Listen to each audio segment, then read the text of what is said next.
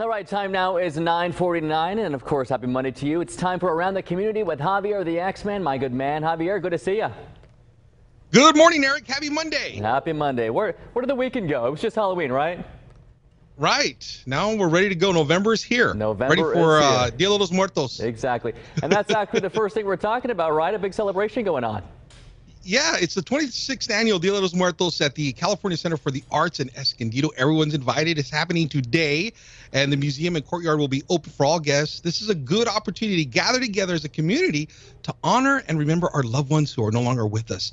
Uh, the center will stay true to the tradition and have altars outside the museum for anyone to use, available at first come, first serve basis. So if you have a photo of a loved one you'd like to share, you're more than welcome to. And they'll have dance performances by Aztec dance group Xinachtli and Tierra Caliente Academy of Arts. They'll also have craft tables, a DJ, an artisan, a craft market as well. All part of the festivities. Plus, uh, they're going to have three uh, exhibitions highlighting artworks referencing Dia de los Muertos Ah. and to celebrate Mexico's rich artistic heritage. So come on out, be part of the event today. And that event is free, correct?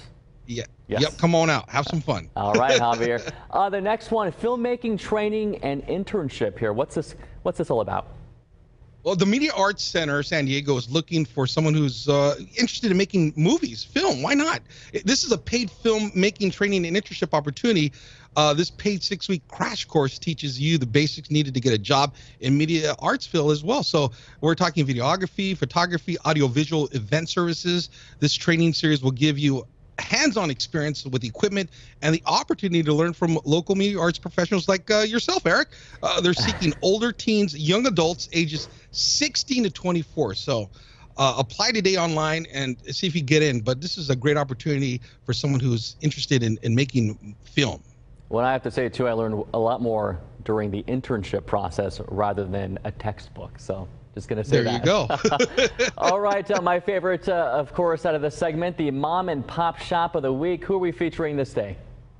Today, I'm taking you to Adams Avenue, uh, Soul Shack Records. This is another one of those businesses that opened up right before the pandemic hit and had to shut down, but they're now fully open, ready for business. Chuck, the owner, is a music lover and loves talking about music. I'm a record collector, so I found this place to be the perfect place to dig for musical gems. They buy, they sell, trade music as well. So if you got a stack of records just sitting at home and you want to trash them, don't. Take them there, okay? They have a wide selection of music uh, from rock to soul, new wave, DJ 12 inch records, 45s, which is what I love. Plus, they carry cassette tapes and CDs too. And they also have clothing, art, and pop culture items. So if you're into that stuff, they got them there as well. And uh, something for every everyone out there, especially for the holidays. You're looking Right. for that special gift. This is the place to go. Soul Shack Records on Adams Avenue. And uh, talk to Chuck and uh, Todd out there. Good people, just uh, selling good music to everyone. So come on out. We're going to tell them Xavier sent us. All right, Xavier, the X-Man, good to see you, my friend. Uh, good information as always. Thank you. Take care. Have a great work week.